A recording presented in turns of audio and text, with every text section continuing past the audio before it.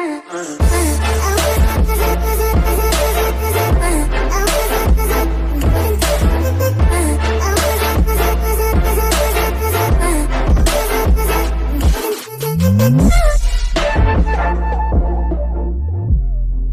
hello there. How are you today? I hope you're doing well. If so then let you know in the comment section. And today i'm back with another interesting story and this is part one of uh, Meliodas deku related to Meliodas deku story. Okay guys so without further wasting time let's get into the video and make sure to like the video and subscribe to the channel press the bell icon for the latest notification. Till then take care bye bye and see you guys in the next video. And stay tuned with us for many interesting stories. So bye bye and take care